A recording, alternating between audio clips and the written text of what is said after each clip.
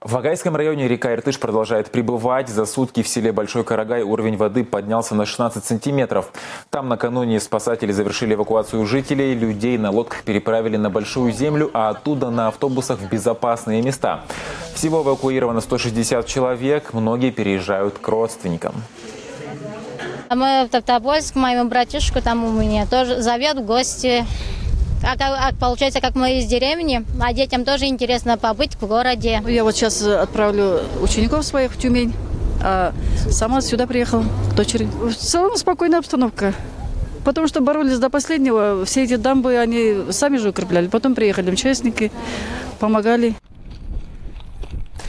Жителей подтопленных территорий готовы принять в пункте временного размещения в селе Дубровном. Сейчас там живут 13 человек. Всего же ПВР рассчитан на 200 постояльцев.